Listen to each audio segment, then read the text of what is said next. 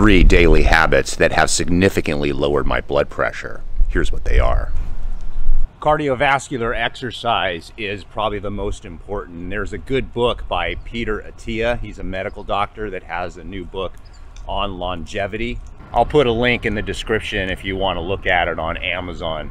It's really a fascinating book because he talks about cardiovascular exercise and how you should probably be doing it about three to four times a week for about 45 minutes for a total of three and a half hours a week. And so that's what I do is I get out four times a week and I ride my bike. Now, not everybody likes to ride bikes. Some people like to walk or run or row or treadmill or elliptical. It actually doesn't matter because your heart is beating at a certain rate. So the real question is how hard should we be exercising? And the answer is if you have a heart rate monitor, then the simple ballpark area is if you take 180 minus your age, that's around the heart rate at which you're getting the most benefit. Another old fashioned way of doing it is 220 minus your age and then take about 75% of that number and that will actually get you in the route ballpark as well. But the easiest way is to do what's called the talk test.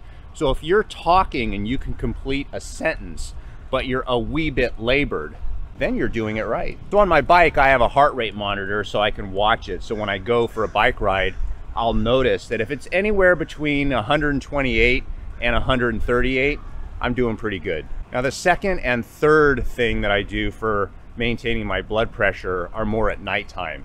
So let's transfer over there. Let's talk supplements. Let, let me get in here. Okay, I'm gonna show you what I have been taking. The main thing is some magnesium supplements and this is the one that I like and you can take whatever one that you like but I have found that this helps me the most. It has seven different types of magnesium in them. I'll list them right here but I take two tablets at nighttime before I go to bed and it's so simple and it helps me sleep.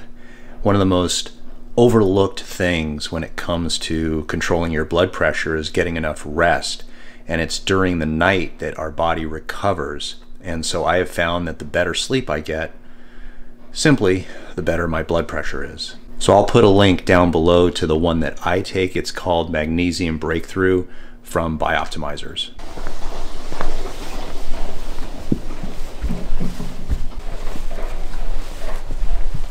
So the very last thing that I do before I go to bed at night is I will just sit here on the floor with my back supported and just simply take about 30 deep breaths.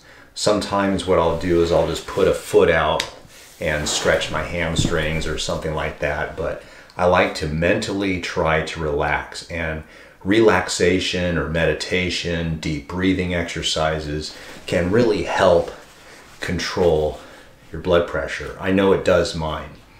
So I simply inhale through the nose, exhale through the mouth, and I just do it in a very deep, slow, and controlled fashion. So I just go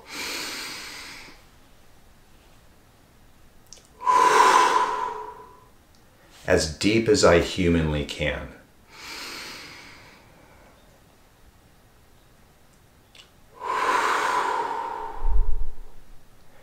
And I repeat this for about five minutes before I go to bed. And I find that it helps me sleep, once again, just like with the, all the magnesium that I take. And it helps me relax and calm down through the day.